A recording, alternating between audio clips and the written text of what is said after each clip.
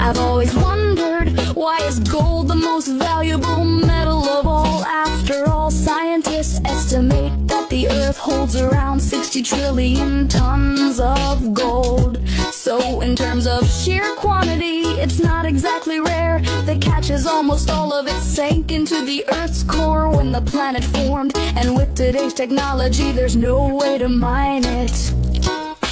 The gold we can access today only crust after billions of years of geological processes like tectonic shifts and volcanic eruptions carried it upward.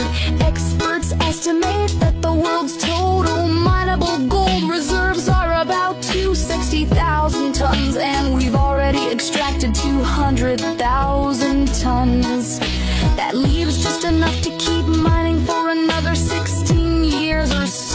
And since gold is a non-renewable resource, once it's gone, it's gone.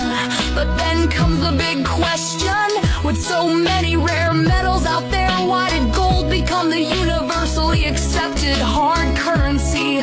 Part of the reason lies in its scarcity and limited supply. But gold also has incredible stability and durability. It doesn't corrode and can last indefinitely without degrading.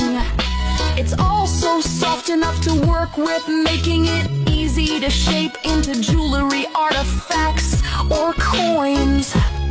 And unlike silver or iron, gold's warm sunlight glow gives it a unique visual appeal that has strengthened its universal recognition and value. I've always wondered why is gold the most valuable metal of all? After all, scientists estimate that the earth holds around 60 trillion tons of